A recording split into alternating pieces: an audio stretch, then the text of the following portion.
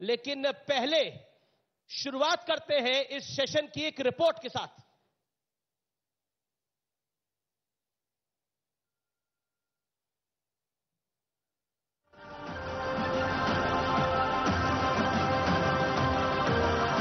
Hi tech रथ पर सवार Samajwadi party के मुखिया अखिलेश यादव और उनके समर्थकों की ये भीड़ ये बताने के लिए काफ़ी है कि यूपी में मुकाबला इस बार बड़े ज़ोर का होने वाला है।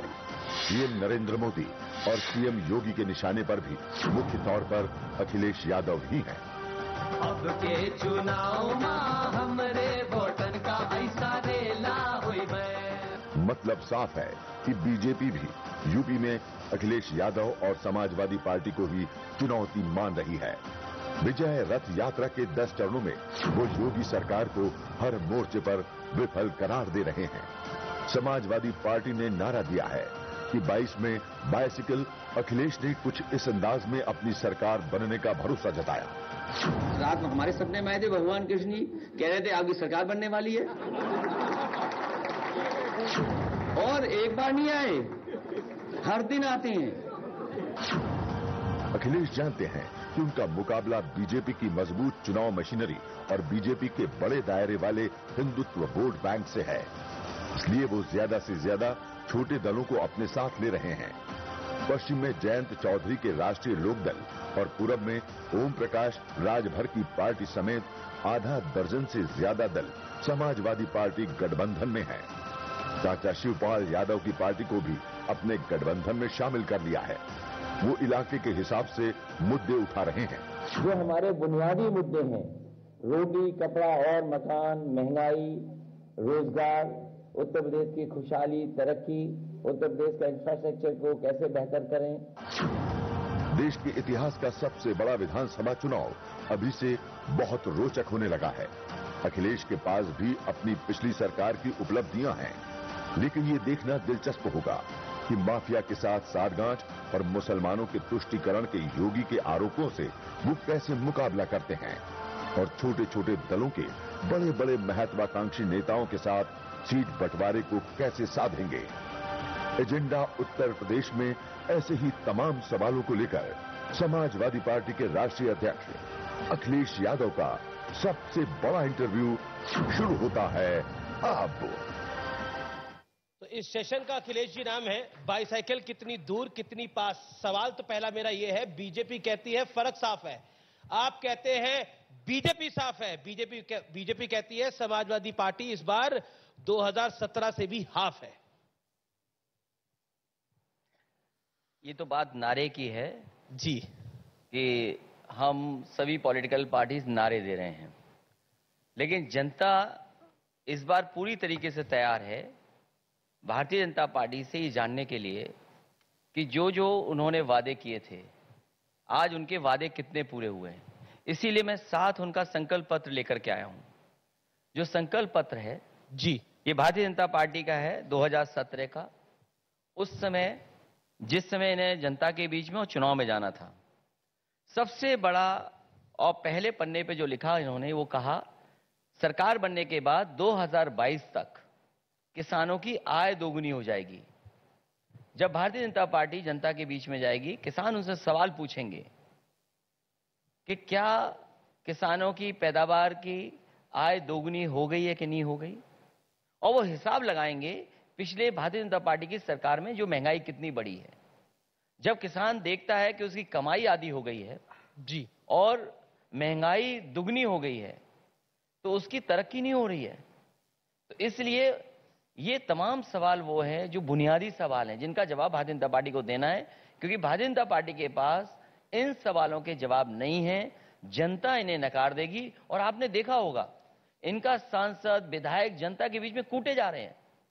क्या कोई पॉलिटिकल पार्टी ऐसी हो सकती है जिसके विधायक और सांसदों को गाँव में न घुसने दिया जा रहा हो? हाल ही में भी उन्नाव के उनके विधायक एक किसान नेता स्टेज पर चढ़ करके आए। उन्होंने कूट दिया उनको। क्या ये स्थिति होगी भारतीय जनता पार्टी की? अभी तो चुनाव शुरू होने जा रहा है। जनता जब वोट डालेगी। चुनाव शुरू हो गया। तारीखों का ऐलान हो गया पाँच राज्यों की तारीखों का ऐलान हो गया दस को नतीजे आएँगे दस मार्च को नतीजे आएँगे। सपा कह रही है होली लाल रंग की होगी बीजेपी कह रही है कि होली भगवा रंग की मनेगी इस बार। हाँ, एक रंग वाले लोग एक रंग ही सोच सकते हैं।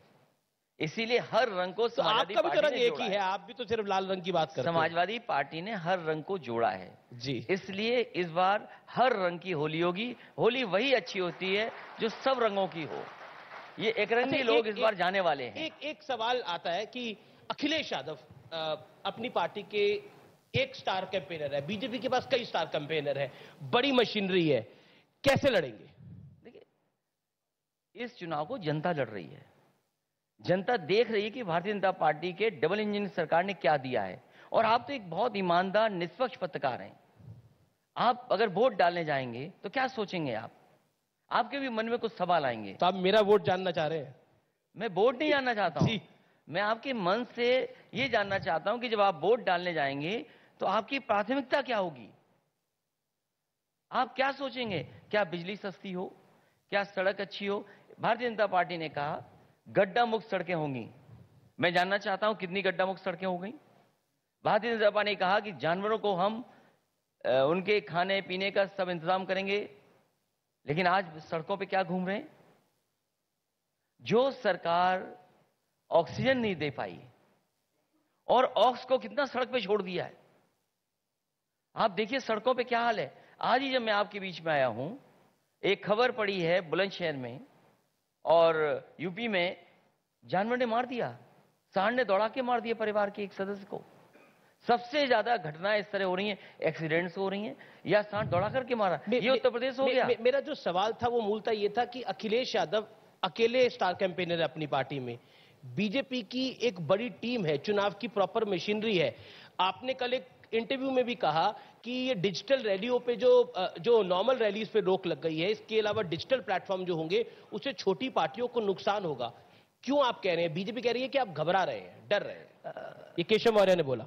ये उनसे मत पूछिए। समाजवादी पार्टी वो है जिसने 18 लाख से ऊपर और लगभग 20 लाख लैपटॉप बांटने का काम उत्तर प्रदेश में किया था। जी। और शायद जो वो बोल रहे हैं वो लैपटॉप चलाना नहीं जानते। अभी तक तो मैं सोचता था कि हमारे बाबा मुख्यमंत्री जी नहीं जानते हैं। अब तो लगता है कि डिप्टी सीएम भी चलाना नहीं जानते लैपटॉप। सवाल ये है आप कितने भी लोग लेके आ जाइए उत्तर प्रदेश की जनता बदलाव चाहती है। जो महँगाई बढ़ी उसका जवाब क्या है? किसान यहाँ का हिसाब किताब लगाएगा अभी किसान को ज़रूरत थी खाद। क्या खाद उपलब्ध करा पाए? खाद किसी किसान को नहीं मिली। जब वो किसान को खाद मिल भी गई तो उसमें पाँच किलो की चोरी हो गई।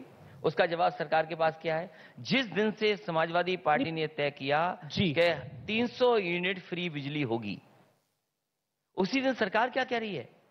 कि हम अपने बिजली के बिल आधे कर देंगे।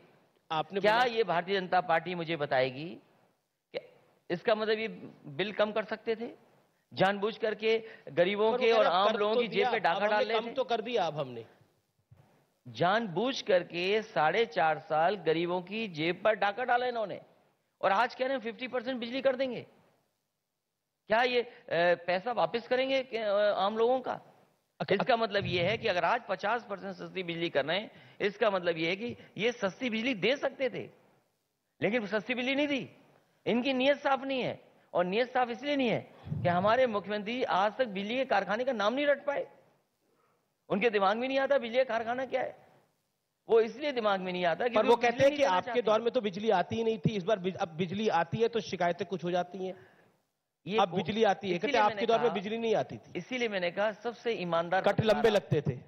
सबसे ईमानदार सच्चे पत्रकार आप हैं निष्पक्ष पत्रकार हैं। जी। और कम से कम आपको तमाम वो आकलन करना चाहिए कि बिजली के कारखाने किसने बनाए। मैं नाम गिनाता हूँ।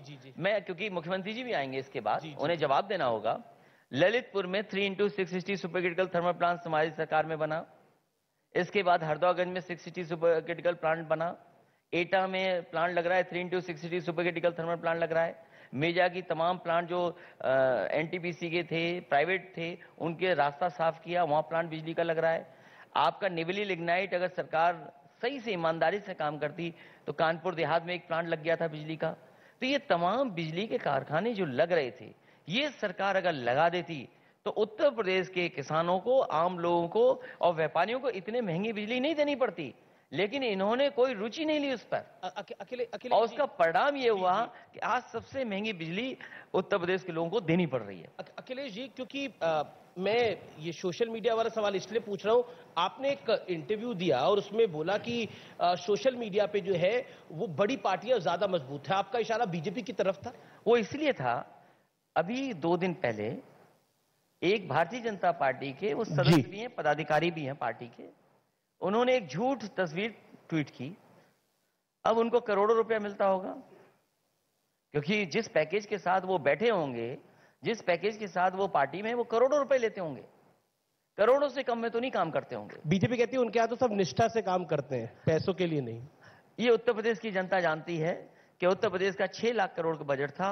आज भी उत्तर प्रदेश की सबसे ज़्यादा बिजली महँगी है सड़क में गड्ढे हैं। इतने बड़े पैमाने पे नौजवान कभी बेरोजगार नहीं भटके होंगे जितने भारतीय जनता पार्टी की सरकार भी हुए। और इन पे अगर पैसा था मैं ये जानना चाहता हूँ लखनऊ शहर में हम बैठे हैं। जी। जितना समाजवादी सरकार ने मेट्रो बनाई थी उतनी ही बनी हुई है। जहाँ तक जाती है, वहाँ से वापस आ जाती है। अभी तक साढ़े चार साल में डबल इंजन की सरकार ने वो मेट्रो को आगे नहीं बढ़ा पाए। जो समाजवादी पार्टी ने स्वीकृत की थी, कानपुर की मेट्रो, वो समाजवादी सरकार में स्वीकृति वही पूरी हुई है। आगरा में वही काम चल रहा है, जो समाजवादी पार्टी की सरकार में स्वीकृत थी। नोएडा से ग्रेटर नोएडा, वही मेट्रो काम हो रहा है, जो समाजवादी सरकार में था। बनारस में भी स्वीकृत किया था। मैं ये जानना चाहता हूँ समाजवादी सरकार में पूरा डीपीआर बन गया था मेट्रो का वाराणसी का। आखिरकार इस सरकार ने काम क्यों नहीं पूरा किया? और ये मेट्रो में इसलिए बना रहे हैं। एक तो मॉडर्न और आज के समय के हिसाब से लोगों के लिए सुविधा है। इन्वायरमेंट के लिए भी सुविधा है। लोगों को आराम से पहुँचने का मौका मिलता है। वो कह रहे हमने हमने तो वो साथ साथ वो कह रहे हमने हमने तो कंप्लीट कर लिया। इसके साथ साथ जहाँ कहीं भी मेट्रो बनी है हज़ारों नौजवानों को नौकरियाँ मिली हैं। हज़ारों इंजीनियर्स को नौकरी मिली है। अगर आप लखनऊ का उदाहरण लेंगे केवल। मैं अभी कानपुर का उदाहरण नहीं पर, पर, पर, बोला कि शिलान्यास भी हम करते हैं उद्घाटन भी हम करते हैं। उन्होंने ये कानपुर मेट्रो के लिए कहा। भारतीय मोदी जनता गलत पार्टी कह रहे हैं। भारतीय जनता पार्टी से बड़ा झूठ कोई नहीं बोल सकता। क्या वो ये स्वीकार नहीं करेंगे कि जिस समय मेट्रो का कानपुर का शिलान्यास हुआ था उन्हीं के सांसद मुरली मनोज जोशी नहीं थे? जो आज देश के वाइस प्रेसिडेंट हैं वो उस समय उस विभाग के मंत्री थे वो मंच पे थे मैं मंच पे था। उस समय के जो वाइस प्रेसिडेंट बीजेपी कहती है आप पत्थर लगवाने का काम करते हैं काम हम करने का काम करते हैं।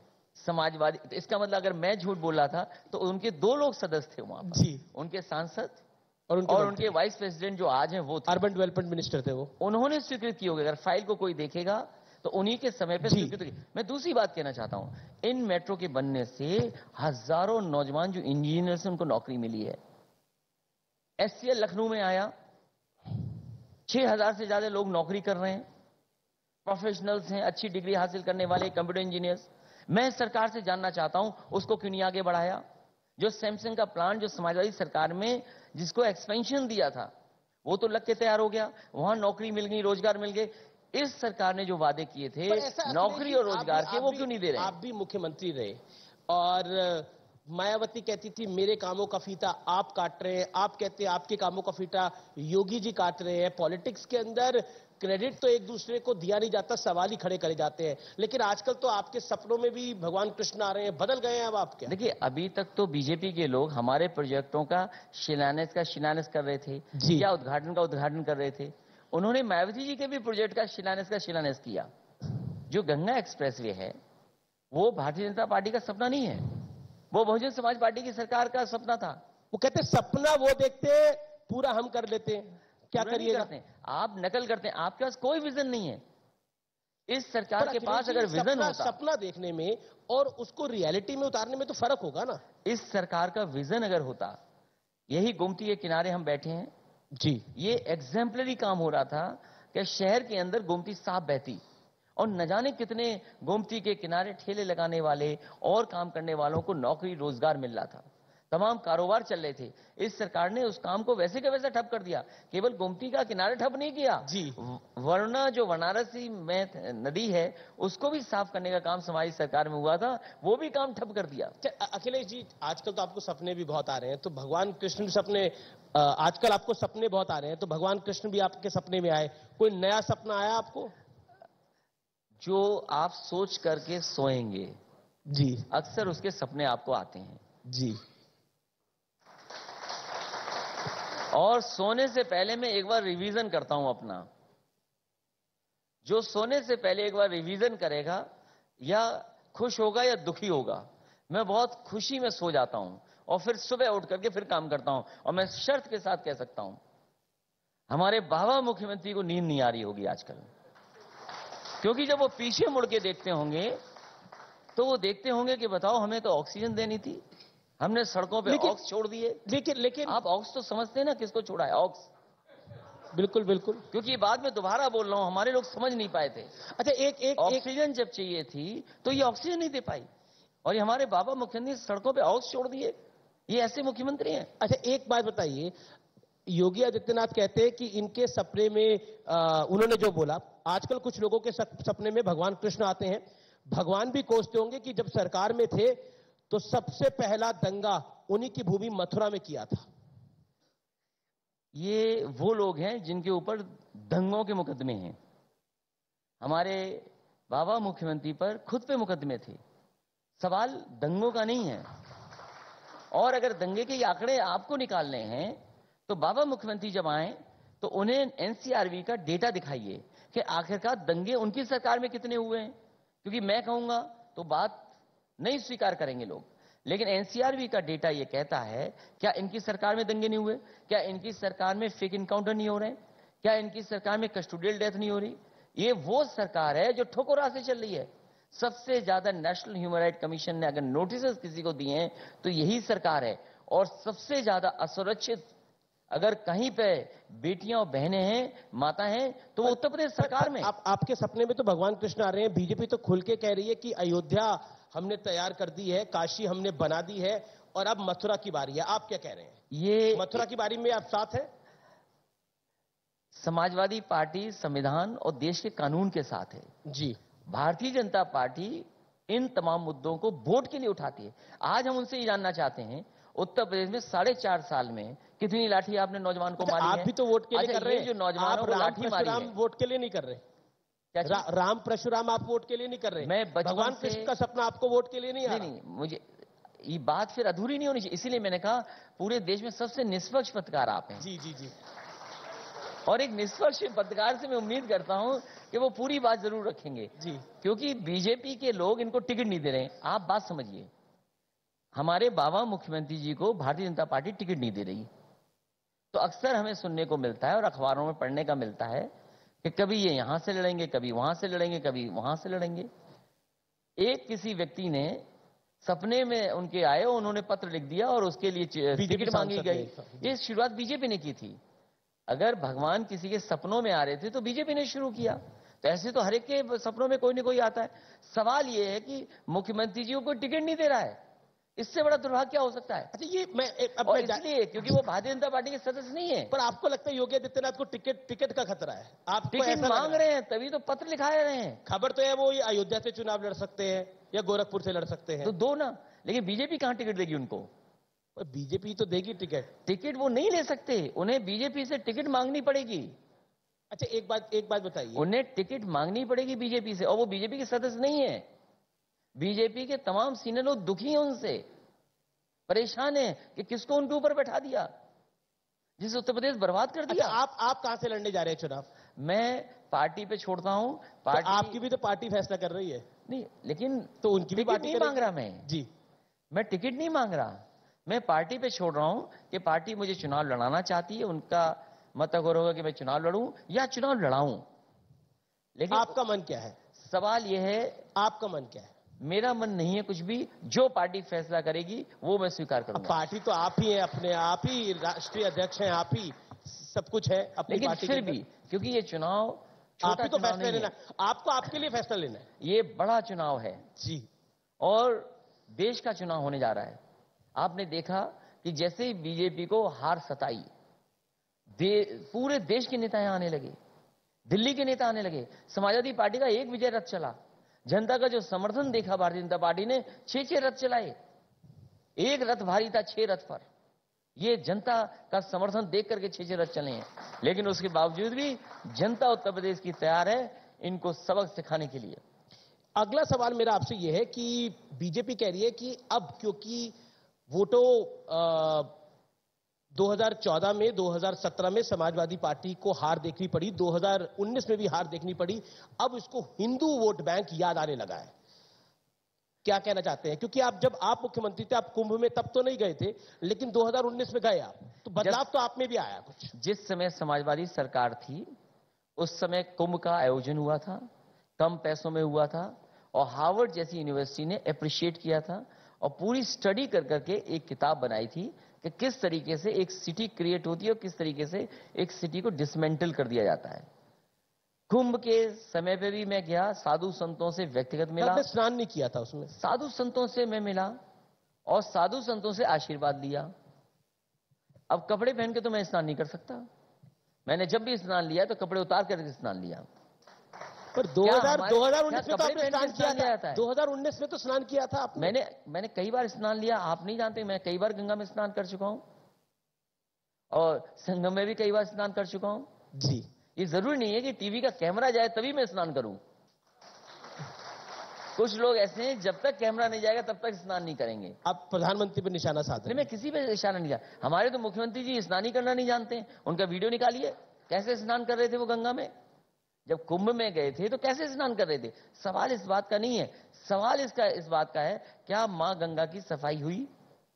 क्या माँ गंगा साफ़ हो गई? क्या यमुना नदी साफ़ हो गई जो गंगा में जुड़ती है?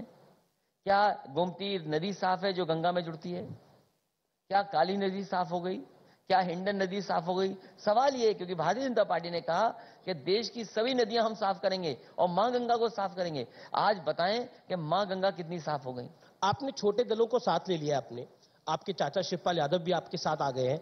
वो अपने सिंबल पर चुनाव लड़ेंगे या आपके सिंबल पर चुनाव लड़ेंगे? सभी क्षेत्रीय दलों को साथ लाने का काम किया है और क्षेत्रीय दल अपने ही सिंबल पर चुनाव लड़ेंगे। अगला सवाल मेरा यह है क्योंकि आपने काफ़ी बोला कि हम सारे हमने काफ़ी काम किए क्रेडिट बीजेपी लेने आ जाती है। बीजेपी कहती है कि आप क्रेडिट जीवी हैं। मैं प्रधानमंत्री को कोट करता हूँ। उन्होंने बोला कि जब मैं आज दिल्ली से चला तो सुबह मैं इंतज़ार कर रहा था कि कब कोई आएगा और कहेगा मोदी जी इस योजना का फीता तो हमने काटा था ये योजना तो हमने शुरू करी थी। आप क्रेडिट लेना चाहते हैं। क्रेडिट नहीं लेना चाहता हूँ। उनको सच्चाई बताना चाहता हूँ कि जिस प्रोजेक्ट पे आप हाथ लगा रहे हैं ये समाजवादियों की देन है। अगर समाजवादियों ने नहीं शुरू किया होता तो शायद आप उद्घाटन न कर पाते शिलान्यास न कर पाते। उदाहरण के लिए जी जी। कानपुर की मेट्रो क्या समाजवादी पार्टी की शुरुआत ही शुरुआत की शुरुआत नहीं की? समाजवादियों ने अगर शुरू नहीं की होती, क्या मेट्रो बन जाती? हमारे बाबा मुख्यमंत्री जी ने कहा था कि हम गोरखपुर में मेट्रो बना देंगे। अब तो विदाई तय है, दस तारीख को जा रहे हैं, सुनने में उन्होंने टिकट भी बुक कर लिया अभी से ही। तो अगर जो टिकट बुक कर रहे हैं तो मेट्रो में कहाँ बैठेंगे गोरखपुर में? उन्होंने पहला वादा किया था कि वो मेट्रो बना देंगे गोरखपुर में। आज साढ़े चार साल पूरे हो गए। क्या मेट्रो बन गई उनकी?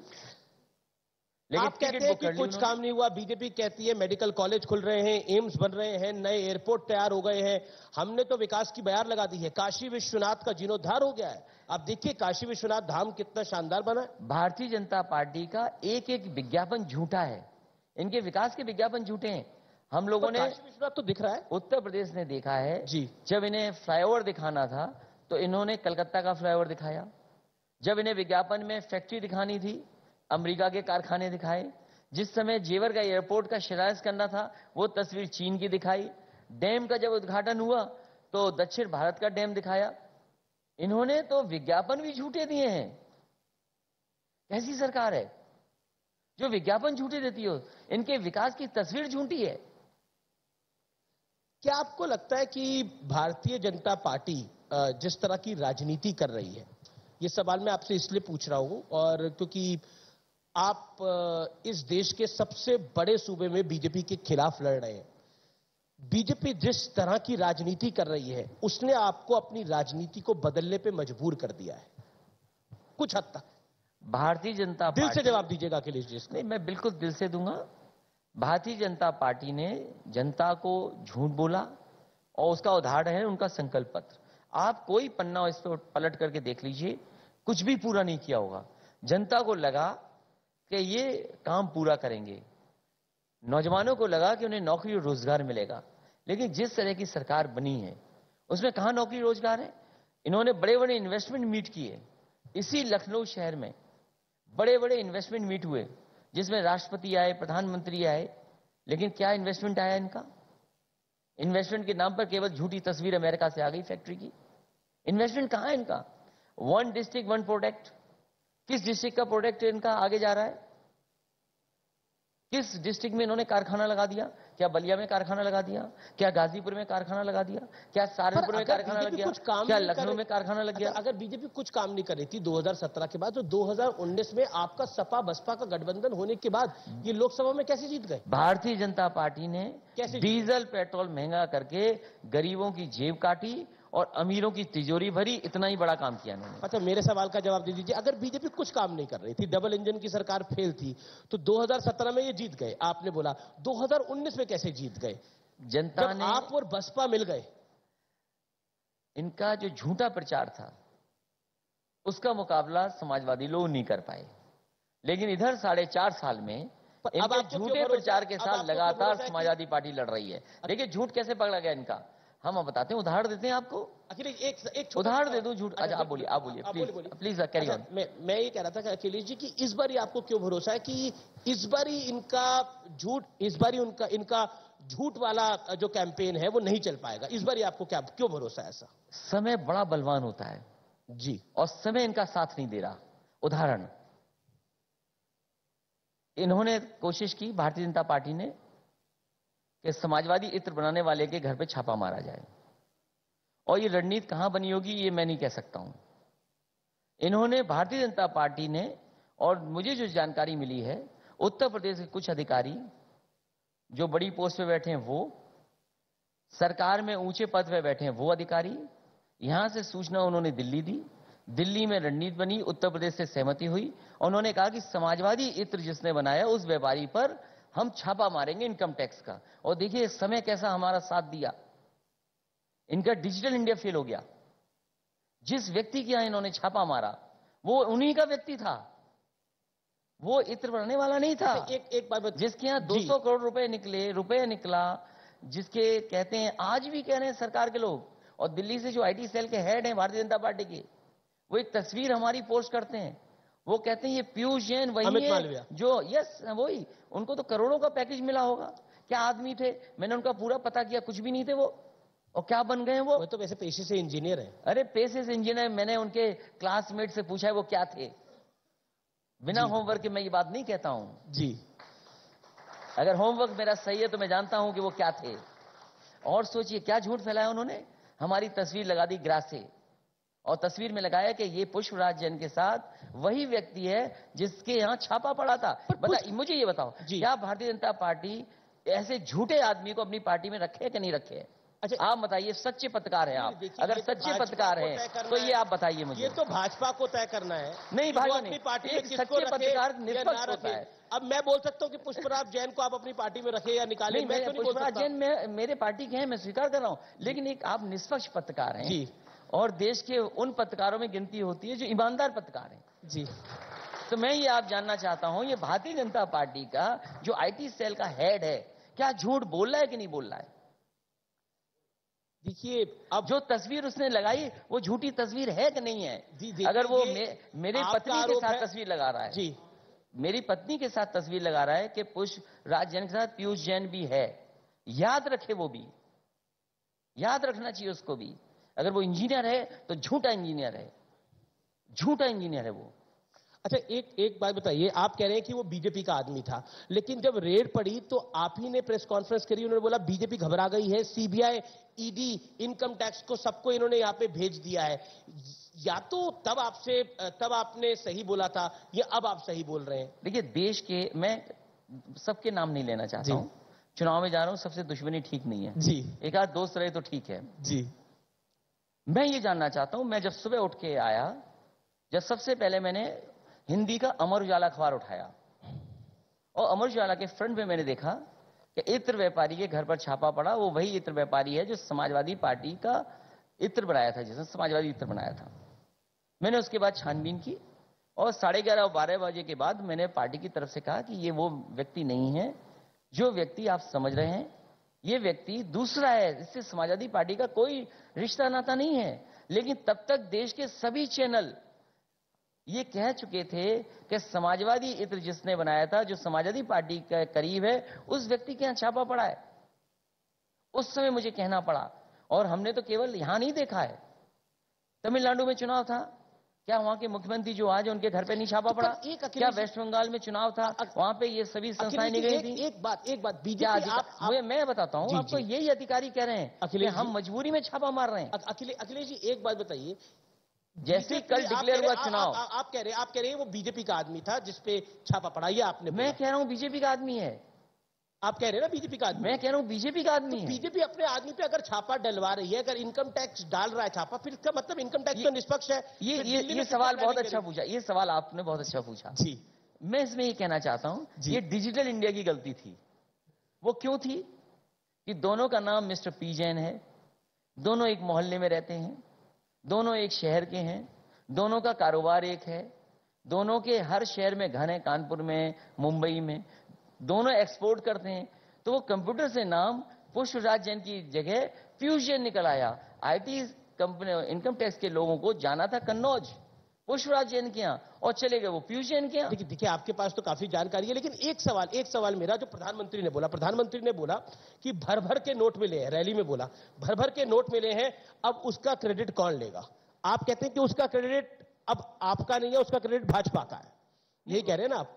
देखिए देश के सभी लोगों ने ये झूठा प्रचार किया। जी। और उस केवल प्रधानमंत्री जी नहीं होम मिनिस्टर देश के वित्त मंत्री दे, उत्तर प्रदेश के मुख्यमंत्री तो आज भी कहते हैं। तमाम चैनल तमाम अखबार मैंने एक अखबार का नाम लिया आपको कि उसके फ्रंट पेज पे छपा लेकिन उसने माफ़ी नहीं मांगी। क्या उस अखबार ने खबर छाप दी? उस अखबार ने माफ़ी क्यों नहीं मांगी? कि हमसे गलती हो गई हमने गलत नाम छाप दिया समाजवादी पार्टी से क्यों उस अखबार ने माफ़ी नहीं मांगी? जी। उस अखबार को माफ़ी मांगनी चाहिए थी? अब अखबार ने माफ़ी नहीं मांगी। जी और क्योंकि अखबार ने माफ़ी नहीं मांगी इसलिए प्रधानमंत्री जी को भी लगा कि जो अखबार में छपा है वो सही छपा होगा। चलिए एक आप बड़ी स्ट्रैटेजिकली मैं जो नोट कर रहा हूँ आप बड़ी स्ट्रैटेजिकली योगी आदित्यनाथ पे हमला कर रहे हैं प्रधानमंत्री पर हमले से बच रहे हैं। देखिए उत्तर प्रदेश की दिख जनता रही आपकी स्ट्रैटेजी उत्तर प्रदेश की जनता चाहती है जी। कि यहाँ पर सरकार बदले। यहाँ की जो मुखिया थे उन्होंने उत्तर प्रदेश को बर्बाद किया। मोदी जी ठीक काम कर रहे हैं।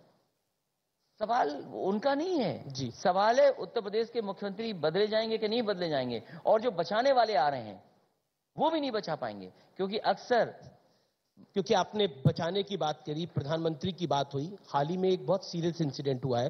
प्राइम मिनिस्टर की एक सिक्योरिटी में बड़ा लैप्स हुआ है पंजाब के अंदर। आप उस पर क्या कहना चाहते देखिए मैंने अपनी बात रखी थी और मैंने यही कहा कि प्रधानमंत्री जी को वहाँ जाना चाहिए था, किसानों को रोकने नहीं देना चाहिए था। कम से कम प्रधानमंत्री जी खाली कुर्सी तो देखते, और खाली कुर्सी देखते तो वो कम से कम ये बताते देश को कि तीन काले कानून क्यों लाए गए थे, और तीन काले कानून क्यों वापस हुए, और कम से कम जो 700 किसान शहीद हुए उनके बारे में वो श्रद्धांजलि क्योंकि- ज़रूर देते। क्या क्या आपको लगता नहीं है कि प्रधानमंत्री की सिक्योरिटी को थोड़ा लाइटली लिया गया और पाकिस्तान का बॉर्डर 10 किलोमीटर दूर था? जैसा कैप्टन अमरिंदर सिंह ने बोला मनीष तिवारी जो कांग्रेस के नेता है फॉरवर्ड आईएनबी मिनिस्टर उन्होंने बोला कि प्राइम मिनिस्टर फ्लाईओवर पे थे 10 किलोमीटर बॉर्डर दूर था एम्बुश लगा के उनको टारगेट किया जा सकता था। मतलब क्या आपको लगता नहीं है बड़ा सिक्योरिटी लैब्स है? आप खुद एक मुख्यमंत्री रहे हैं फॉर्मर सीएम है आप व्हाट यू हैव टू से नहीं देखिए सिक्योरिटी से किसी को खिलवाड़ नहीं करनी चाहिए नंबर एक। और प्रधानमंत्री जो पद है उस पर सिक्योरिटी वैसे ही पर्याप्त होती है। लेकिन अगर प्रधानमंत्री थे तो कम से कम उस सभा में ज़रूर जाना चाहिए था जहाँ खाली कुर्सी थी। मैं तो किसानों से कहूँगा कि अगली बार खाली कुर्सी हो तो प्रधानमंत्री को रोके नहीं। चलिए आपको आप कह रहे हैं कि कुर्सी खाली थी। और फिर सिक्योरिटी की जहाँ बात है जी। तो भारतीय जनता पार्टी बताए कि औरों की सिक्योरिटी सिक्योरिटी नहीं हो सकती। कितने लोगों की सिक्योरिटी हटाई भारतीय जनता पार्टी ने? क्यों हटाई सिक्योरिटी लोगों की? क्या उनके पास जवाब है इसका? आज मुख्यमंत्री आएँगे तो ज़रूर पूछूँगा मैं क्या मुख्यमंत्री जवाब देंगे? वो खुद ही सिक्योरिटी हटाते हैं। जी। चलिए अगला अगला सिक्योरिटी देते हैं। लेकिन क्या आपको लगता है ये सीरियस लैप्स हुआ है और कांग्रेस को इसकी ज़िम्मेदारी तय करनी चाहिए? कांग्रेस की सरकार को क्या बीजेपी लोगों की सिक्योरिटी नहीं हटाती? पर प्रधानमंत्री की और लोगों में तो फ़र्क है प्रधानमंत्री की सिक्योरिटी पर्याप्त है। मैं तो निवेदन करूँगा किसानों से कि जब कभी खाली कुर्सियों प्रधानमंत्री को ना रोकें? अब देखिए 20 मिनट वो फ्लाईओवर पे खड़े रहे और जहाँ पर सामान्य सब लोग जा रहे थे। इसका मतलब प्रधानमंत्री की सिक्योरिटी में लोग लगे वो भी ना काम है। उनको पता ही नहीं था कि आगे क्या है। आप आप पंजाब सरकार पे क्या कहना चाहते हैं? पंजाब में हमारी राजनीतिक कोई दल नहीं है। हाँ अब मुझे पता है लेकिन मैं ये कहूँगा पंजाब के किसान किसान भाइयों से कि अगली बार खाली कुर्सी हो तो प्रधानमंत्री जी को रोके नहीं। की सरकार पे कुछ कहने से बच रहे हैं। उनको कम से कम भाषण देने का मौका दें। आप प्रधान आप प्रधानमंत्री की सुरक्षा में जो चूक हुई उस पर कांग्रेस पर कुछ टिप्पणी करने से मैं। भारतीय जनता पार्टी से जानना चाहता हूँ ये तीन काले कानून क्यों लाए गए थे? और क्यों वापस ले लिए उन्होंने? चलिए। और क्या भारतीय जनता पार्टी ने लोगों की सिक्योरिटी नहीं हटाई? क्या माफियाओं की सिक्योरिटी नहीं है उत्तर प्रदेश में? बीजेपी कहती है कि माफियाओं को तो हमने साफ़ कर दिया। आज मुख्यमंत्री जी आए उनसे पूछे मुख्तार अंसारी के परिवार को सपा में आपने ले लिया। आज बीजेपी कह रही है। देखिए जिनको मैंने लिया उन पर कोई मुकदमा नहीं है। अभी तक कोई मुकदमा नहीं जिनको मैंने लिया है। और भारतीय जनता पार्टी बताए कि उन्होंने माफियाओं को क्यों खुली छूट दे रखी है? क्या माफिया क्रिकेट नहीं खेल रहे थे? क्या पूरे देश ने नहीं देखा माफिया क्रिकेट खेल रहे थे? और माफियाओं पे सिक्योरिटी और आज मुख्यमंत्री जी आए तो बताएँ कि मिर्जापुर का माफिया कौन है? चंदौली का माफिया कौन है? बनारस का माफिया कौन है? भदोई का माफिया कौन है? जौनपुर का माफिया कौन है? और आज कम से कम जब सरकार की विदाई होने जा रही है तो उत्तर प्रदेश से विदाई माफिया विदाई विदाई आपने बोला तो विदाई से मुझे याद आया। आपने बनारस जब प्रधानमंत्री थे और आपने बोला कि अंतिम समय में बनारस जाते हैं उस पर बड़ी कंट्रोवर्सी हो गई थी। आज आप उस पर कुछ स्पष्टीकरण देना चाहेंगे? वो मैंने कहा था कि सरकार का आखिरी वक्त है इसलिए कहा मैंने। सरकार का मतलब था मेरा। मेरा किसी व्यक्ति से मतलब नहीं था। पर बीजेपी ने पकड़ लिया उसको अच्छे बीजेपी है ही ऐसी? झूठ बोलने वाली पार्टी? और जिन्ना पे भी आप बोल गए बीजेपी कहती है कि हम तो गन्ने की बात करते हैं ये जिन्ना की बात करते हैं। देखिए गन्ने का तो ये भुगतान कभी नहीं करेंगे। आज भी किसानों का गन्ना बकाया है पैसा बकाया है किसानों का और महँगी बिजली दी है। ये पहले ही फ़ेज़ पर किसान जो पहले चरण का चुनाव है किसान अपने मान सम्मान के लिए वोट डालेगा और भारतीय जनता पार्टी का पहले चरण में सफाया करेगा। क्या आपको लगता है गन्ने का भुगतान नहीं हुआ क्या आपको लगता नहीं है जिन्ना का नाम लेना आवश्यक नहीं था? भारतीय महापुरुषों के साथ जिन्ना को खड़ा कर देना जिसने देश का विभाजन करवाया वो जिन्ना की जो भारत भारत के लिए एक विलेन है। तो भारतीय जनता पार्टी को अपने नेता के कहे हुए बात को और उन्हीं के नेता ने जो किताब लिखी वो ज़रूर पढ़नी चाहिए।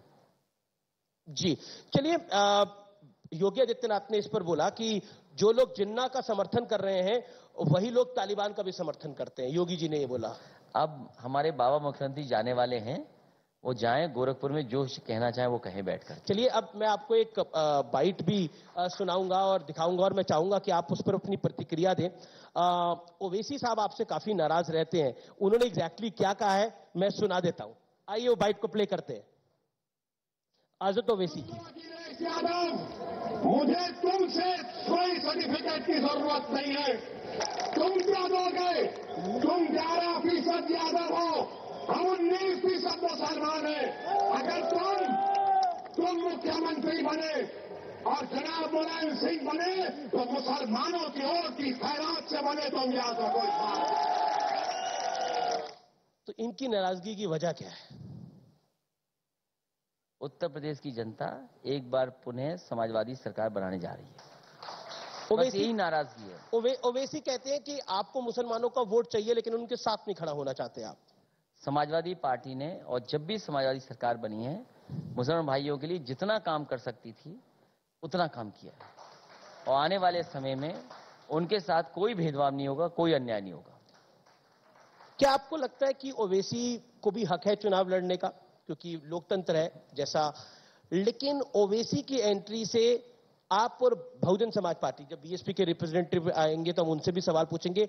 आप परेशान है आपको लगता है कि एक विशेष तबके का खासतौर पर मुस्लिम तबके का वोट कट सकता है उनके आने अब से? वो बात खत्म हो चुकी है। पूरे उत्तर प्रदेश की जनता बदलाव चाहती है।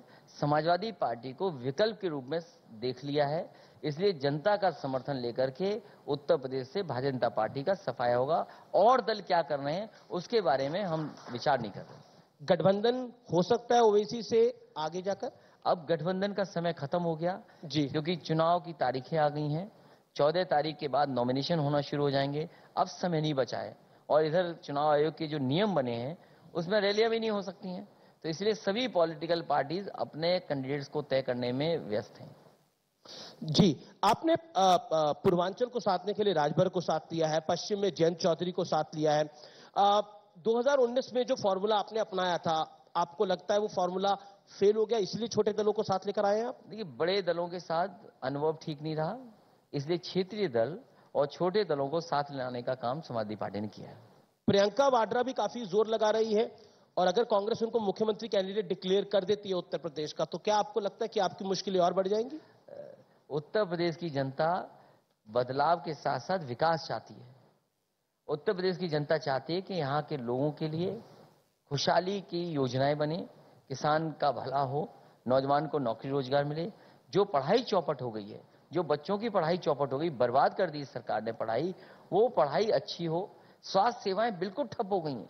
आज कहीं इलाज नहीं हो पा रहा, दवाई नहीं मिल पा रही है। और अगर सरकारी अस्पताल में जाएँगे तो जो इलाज मिलना चाहिए, वो नहीं मिल पा रहा इलाज। जी चलिए अब आपने लाल टोपी डाली हुई है तो सवाल तो मुझे पूछना पड़ेगा। ये लाल टोपी से भारतीय जनता पार्टी को विधानसभा के सदन में प्रधानमंत्री ने बोला ये जो लाल टोपी वाले हैं ये रेड अलर्ट है। ये उनके योगी जी भी बोलते हैं। ये उन्हीं के लिए रेड अलर्ट है। वो समझ गए ये अच्छा रहा। क्या आपको लगता है कि बीजेपी का प्रयास यह है? बीजेपी कहती है कि लॉ एंड ऑर्डर में हमने सबसे बढ़िया काम किया है और समाजवादी पार्टी को वो गुंडा राज बताती है। समाजवादी सरकार जिस समय थी, पुलिस को क्या स्ट्रक्चरल चेंजेस दें जिससे पुलिस कामकाज अच्छा करे? तो सबसे बड़ी समस्या पुलिस के पास ये थी कि उनके पास संसाधन नहीं था। अगर कहीं उन्हें जाना है दबिश में, पुलिस को कहीं मौके पर पहुँचना है तो उनके पास पर्याप्त इंफ्रास्ट्रक्चर और गाड़ी नहीं थी। सबसे पहले समाजवादी सरकार ने रिस्पॉन्स सिस्टम दिया। और मुझे याद है कि विभाग के जो वरिष्ठ अधिकारी थे, जो टेक्नोलॉजी को समझते हैं उनको मैंने न्यूयॉर्क भेजा था कि न्यूयॉर्क की पुलिस किस तरीके से काम करती है वो देख करके आए। उसके बाद ह्यूस्टन देख करके आए कि पुलिस कैसे काम करती है। उसके बाद सिंगापुर का रिस्पॉन्स सिस्टम कैसा है वो देख करके आए। उसके बाद यहाँ पर क्रिएट किया गया। जो डायल हंड्रेड है मैं ये कह सकता हूँ। कि देश का सबसे बेहतर डायल हंड्रेड रिस्पॉन्स सिस्टम दिया। इसी तरह पुलिस एक जगह बैठ करके काम कर सके। वर्ल्ड क्लास पुलिस हेडक्वार्टर दिया। कितने प्रमोशन देने थे प्रमोशन दिए। पुलिस को जो मदद कर सकते थे सरकार ने मदद की उस समय समाजवादियों ने। लेकिन जिस तरीके से भारतीय जनता पार्टी ने पुलिस से काम लिया है जी। पुलिस को कबाड़ा कर दिया इन्होंने। आप कह रहे पुलिस को कबाड़ा कर दिया पुलिस सिस्टम से काम नहीं कर रही।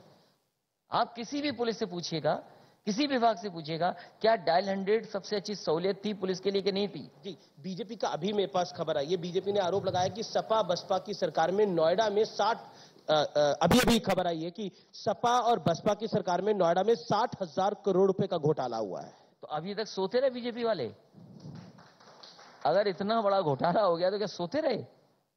ये जो रिपोर्ट्स ला रहे हैं, ये जानबूझ करके रिपोर्ट ला रहे हैं। और 2G में कितना बड़ा घोटाला हुआ था?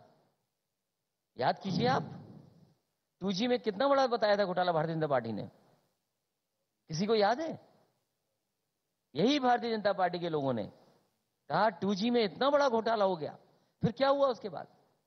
ये भारतीय जनता पार्टी वो के लोग वो लोग हैं जो घोटाला करते हैं पता ही नहीं लगता। अच्छा एक माफिया को लेकर आप कहते हैं कि ये ठोको तंत्र की सरकार है। बीजेपी कहती है कि हम माफियाओं के खिलाफ कार्रवाई करते हैं। अमित शाह भी कहते हैं कि आ, योगी जो है वो बाहुबली नहीं है। आ, वो आ, बजरंग बली को याद करने वाले हैं। देखिए भारतीय जनता पार्टी केवल झूठ के प्रचार कर रही है। कानून व्यवस्था का अगर आंकड़ा देखना है एनसीआरबी के आंकड़े निकालिए। अगर वो आंकड़े हैं तो वो बता रहे हैं कि क्या हो गया है। मैं इनसे जानना चाहता हूँ। हाथरस की बेटी जैसी घटना दुनिया में कहीं हुई हो तो बता देंगे। हाथरस की बेटी के साथ जो किया भारतीय जनता पार्टी की सरकार में क्या दुनिया में किसी बहन या बेटी के साथ ऐसा हुआ होगा? क्या वो लोग भूल गए होंगे? बुलंदशहर का सुबोध इंस्पेक्टर जिसको मारा था जी। क्या उसके परिवार को न्याय मिल गया? क्या जो कस्टोडियल डेथ हुई है क्या पुलिस नहीं जेल जा रही है? आप कानपुर की घटना कैसे भूल जाएँगे? जो कानपुर का व्यापारी था गोरखपुर गया क्या उसकी हत्या हुई नहीं हुई? आज तो अखबार में। कार्रवाई भी हुई उसके बाद? क्या कार्रवाई हुई? कार्रवाई करी? पुलिस जो वसूल रही थी पैसा वहाँ पर। कितना समय लगा? डीएमएसपी गए और उसके परिवार को धमका रहे थे कि एफआईआर न लिखाइए। मुख्यमंत्री जी के क्षेत्र में ये हो रहा था। जब विपक्ष ने दबाव बनाया और उसके परिवार के लोग खड़े हो गए तब जाकर के थोड़ा बहुत न्याय मिला उस परिवार को। क्या सुबोध इंस्पेक्टर की हत्या हुई? क्या हुआ उन लोगों का? अच्छा एक बात बताइए क्या हुआ? क्या जवाब है इनके पास? गृह मंत्री अमित शाह ने आरोप लगाया कि अगर सपा की सरकार आ गई तो ये राम मंदिर को रुकवा देगी। राम मंदिर के काम को रुकवा देगी। मैं क्या जवाब दूँ ऐसे लोगों का? मंदिर निर्माण जब सुप्रीम कोर्ट ने कह दिया है तो मंदिर निर्माण कोई भी नहीं रोक सकता। अगर बीजेपी भी चाहे तो बीजेपी नहीं रोक सकती क्योंकि सुप्रीम कोर्ट के फैसले के बाद मंदिर बन रहा है। वो कहते हैं आप रोड़ा डालने की कोशिश करेंगे अगर आएँगे तो। समाजवादी लोग वो लोग हैं जो कम समय में काम पूरा करते हैं। एक्सप्रेस वे बनाना था 22 महीने में बना के दिखा दिया। लखनऊ की मेट्रो बनी थी रिकॉर्ड टाइम में मेट्रो बनी। चलिए अब अगर समाजवादी लोग होते तो रिकॉर्ड टाइम में बनाते। ये जानबूझ करके भारतीय जनता पार्टी के लोग नहीं बना रहे हैं। और वहाँ केवल घोटाला करना चाहते हैं। क्या रजिस्ट्रियाँ बताएँगे कि कितने लोगों ने फर्जी रजिस्ट्रियाँ की वहाँ पर? क्या भारतीय जनता पार्टी के लोग बताएँगे कि किन अधिकारियों ने रजिस्ट्री ली है वहाँ की है वहाँ पर? चलिए अब आपको एक और मैं बाइट सुना देता हूँ। जिनका ज़िक्र आपने इस मंच पे सबसे ज़्यादा किया योगी आदित्यनाथ उनकी मैं बाइट सुना देता हूँ। उन्होंने आपके बारे में क्या कहा था फिर आपका मैं रिएक्शन लूँगा और उसके बाद मैं आपको तीन तस्वीरें भी दिखाऊँगा। तो व्यूअर्स बड़ा दिलचस्प होने वाला है अगला राउंड जो है। चलिए वो बाइट प्ले करते हैं। जी को योगी जी। जब फुर्सत हो ये सब जानने पढ़ने की बारह बजे सो के उठेंगे दो बजे तैयार होंगे चार बजे अपने मित्र मंडली के साथ बैठ जाएँगे छह बजे फिर साइकिलिंग के लिए निकल जाएँगे। तो पॉलिटिकल कार्यों के लिए कहाँ फुर्सत है? अखिलेश जी वो कहते हैं कि आप 12 बजे सो के उठते हैं मित्र मंडली के पास चले जाते हैं। आपका जवाब क्या है? आपसे मैं आज उनका इंटरव्यू होने के बाद कॉल करूँगा। जी। उनका कोई ऐसा नंबर दे दीजिए जो मैं डायरेक्ट मिलाऊं उन्हें। तो कम से कम मैं उन्हें उठा के बताऊँगा कि मैं कितने बजे उठता हूँ। दूसरी बात वैसे कितने बजे उठते हैं आप? अगर नहीं नहीं। सवाल उठने का नहीं है। जी। मेरे जितने लोग हैं जो शुरू से बचपन से मुझे जानते होंगे वो जानते होंगे कि मैं कितने बजे उठ जाता हूँ। मुझे नहीं बताना कि मैं कितने बजे उठता वो तो आपकी पूरी दिनचर्या बता रहे देनी है क्योंकि बाबा खुद सोते हैं। आपने देखा नहीं कि एकांत में जा रहे हैं? एकांत में क्या कर रहे हैं? सो जाते हैं जाकर के। वो कहते हैं मैं चार बजे उठता हूँ पूजा नहीं नहीं नहीं नहीं नहीं। मुझे याद है मुझे अधिकारियों ने बताया कि वो एकांत के लिए दो घंटे के लिए जाते हैं। तो सो तो जाते हैं लगाने के लिए जा सकते हैं? ध्यान लगाने जाके। वो एक योगी है तो ध्यान लगाते होंगे। देखिए मुझे बड़ा दुख है कि हमारे बाबा मुख्यमंत्री में कोई मित्र ही नहीं है। वो हमारे लिए कह रहे हैं कि मित्र मंडली। अरे मित्र होना तो अच्छी बात होती है। हमें दुख है कि बाबा योगी जी पे कोई मित्र नहीं है। और कौन मान लेगा इनकी बात? आज के समय पे 12 बजे कौन सो लेगा? कैसे मुख्यमंत्री है बताओ? क्या दुनिया को सिखा रहे हैं समझा रहे हैं कि 12 बजे सो के उठते हैं? अच्छा कितने बजे उठते हैं आप? मैं मेरे करीब के लोग या जितने लोग हैं वो जानते हैं मैं कितने बजे उठ जाता हूँ। पाँच बजे उठते हैं सुबह। आपने एक इंटरव्यू में बोला था आप चार बजे उठते साढ़े तीन उठते हैं शायद। नहीं वो तो इसलिए था कि कोई बता रहा था कि ये मुख्यमंत्री जी इतने बजे उठ जाते हैं तो मैंने कहा उनसे पहले उठ जाता हूँ। तो सच्चाई इसीलिए तो तो बताइए मैं उठते कितने बजे? मैं कल से काम करूँगा चुनाव तक चुनाव तक जी। मैं मुख्यमंत्री आवास को फ़ोन करके जगा दिया करूँ कि मैं जग गया हूँ? कल से सुबह फ़ोन करूँगा और वैसे भी मुझे वो दूर नहीं है मैं आपकी जानकारी दे मैं खड़ा होकर के भी चिल्ला दूँगा कि मैं जग गया हूँ तो वो जान जाएँगे। तो समय आप अभी किसी को बताएँगे नहीं कितने बजे और नहीं उसको गोपनीय रखना और मैं बता दूँ अगर उनको टहलने की आदत तो है नहीं मुझे नहीं लगता टहलने की आदत होगी। अगर योगा वगैरह करते होंगे ध्यान लगाते क्या। योगा करते होंगे? नहीं योगा करते वो। जब योगी नहीं तो योगा क्या करेंगे? पर वो सुबह चार बजे उठ जाते हैं ऐसी जानकारी है। योगी वो है जो दूसरों का दुख अपना दुख समझे। क्या हमारे मुख्यमंत्री दुख समझते हैं? एक नौजवान आया होगा अगर अपने हक के लिए यहाँ लाठी खाएँ। 69,000 वाले मैंने बच्चों को देखा है कितनी बार अपमानित होकर लाठी खा कर गए। कितनी बार नौजवान यहीं पर आकर के धरना दिए लाठी खा करके गए। कई हमारी बहनें न्याय के लिए अपनी एफ़ लिखाने के लिए आत्मदाह तक करने के लिए यहाँ मुख्यमंत्री आवास आई क्या दुख समझते हैं लोगों का ये? अगली अगली एक एक एक और राउंड है उसमें तस्वीरें कुछ दिखाएँगे। एक तस्वीर मैं आपको दिखाना चाहता हूँ और मैं चाहता हूँ आप उस पर अपनी राय ज़रूर रखें। तीन तस्वीरें हम आपको दिखाएँगे। पहली तस्वीर बिग पिक्चर पे कौन सी आती है बिग स्क्रीन पे कौन सी आती है आइए देख लेते हैं।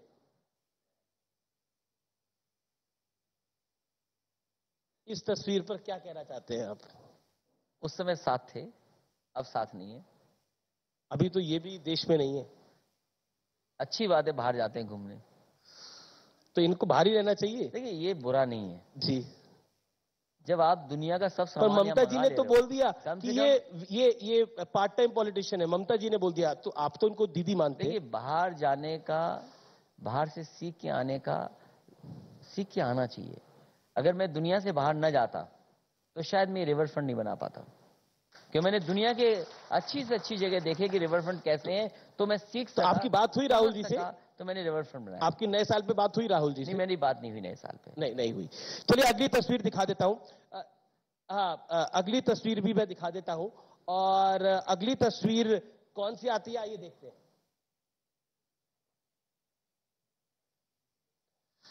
इस पर क्या कहना चाहते हैं अखिलेश जी? ये आशीर्वाद दें इस बार। इस